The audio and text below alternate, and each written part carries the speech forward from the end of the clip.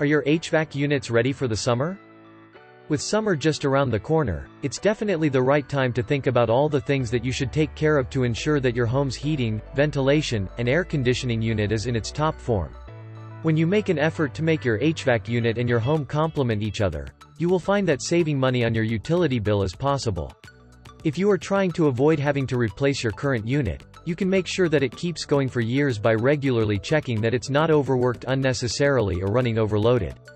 Doing so will also result in a more comfortable home with just the perfect temperature, regardless of the temperature outside. Here are some ways you can ensure you have a summer-ready HVAC unit. Check the filter. This is the first thing that you should do when inspecting your HVAC unit.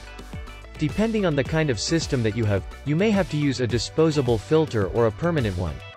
If yours use disposable filters, you should replace the air filter at least once every month. For other filters, regular cleaning, monthly, can help you keep things running smoothly.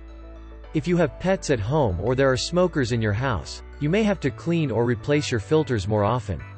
Once you have a clean or fresh air filter, your HVAC unit won't have any dirt or dust blocking the cool air from circulating around your home. Examine the outdoor area. If it's applicable, you should go outside and check your HVAC unit from there. Make sure that the area is free from any debris. If there are branches, leaves, or other items blocking the area around your air conditioner, you have to clear it away. It will be helpful if you do not grow shrubs near the unit.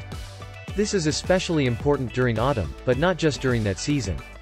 It should be a year-long proactive routine. As a rule of thumb, you should have an open space of about 2 feet surrounding your HVAC unit to make sure no debris is getting inside the machine. Maximize airflow inside the house with fans. Strategically placing different kinds of fans all throughout the house can make a big difference in the level of comfort inside your house. There are various options for you, including desk fans, floor fans, and ceiling fans, among others. Ceiling fans are among the best things you can have throughout the house. Make sure that they are set to rotate clockwise during the summer so the air will flow downward and prevent heat from rising up. You can reverse the rotation when it begins to cool off again. Have a programmable thermostat. If you want to see positive changes in your energy bill, one of the best things you can do is to install a programmable thermostat. Newer technologies made it possible for you to customize the air conditioning schedule in your home even when you're out. Depending on the kind of weather, as well as your personal schedule, you can adjust the temperature inside your house. If you're going to be out for a while, you can schedule your unit to turn off automatically or allow the indoor temperature to rise a bit. This can both help you save money and prevent your air conditioning unit from working too hard during the hottest months.